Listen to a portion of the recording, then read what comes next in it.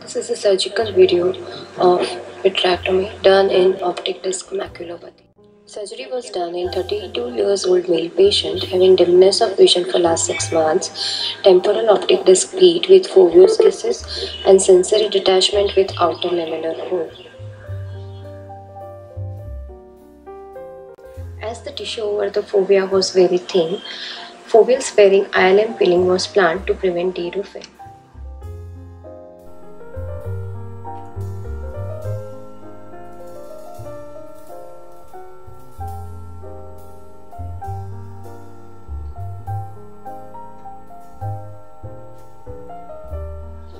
Posterior vitreous detachment is the very important part in this surgery. So meticulous PVD induction was done with the help of triamcinolone injection.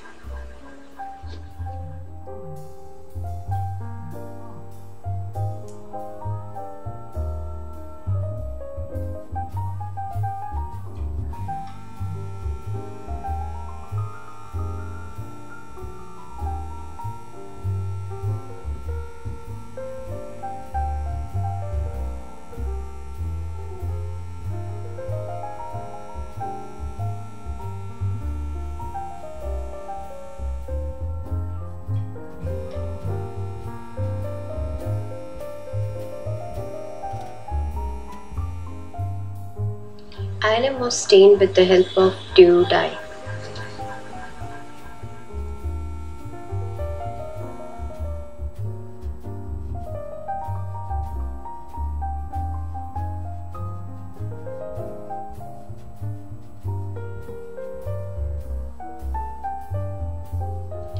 Meticulous large ILM peeling was done sparing the foveal area.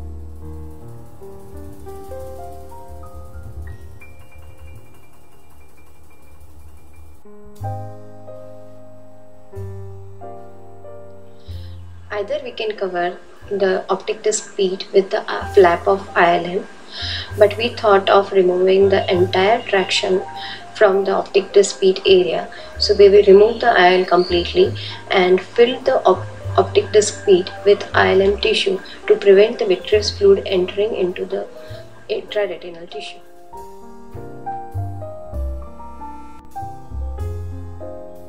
Laser was done on the optic disc pit edge to prevent the passage of fluid from the optic disc pit to intraretinal tissue. Surgery was completed with fluid gas exchange.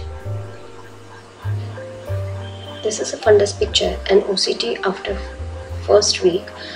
As you know that it takes long time for the fluid to resolve in case of optic disc pit. Thank you.